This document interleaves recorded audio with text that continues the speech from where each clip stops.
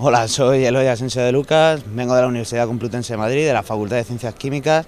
Quiero mostrar mi apoyo al, campus Mare Nostrum porque creo que va a ser un impulso para los estudiantes y, todo el personal de las universidades de Murcia y la Politécnica de Cartagena.